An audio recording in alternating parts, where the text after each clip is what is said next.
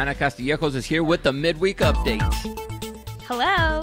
Hiya. Hello. Hey, hey. Okay, so I wanted to start off with a joke that I actually heard on Shark Week, but I've been laughing about it for the last like two days, so I just wanted to share it. Okay, go ahead.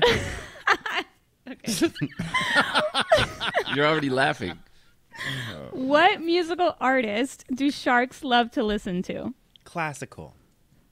Gilly Eilish. Oh my. Okay.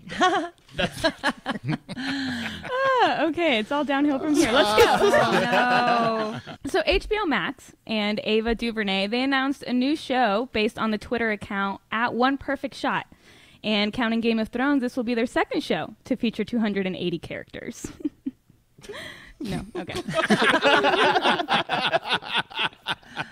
okay. All right. Okay. um, Big Brother All Stars is underway. It's the best contestants from past seasons are locked in the house for the next three months, and they compete to stay in the house. Meanwhile, the rest of us are competing to get out of the house. Right? Word, word. Where is our prize money? For Hmm? real. Julie. Okay, we're all all stars. Okay, get your game on. Go play. A second uh, stipend check.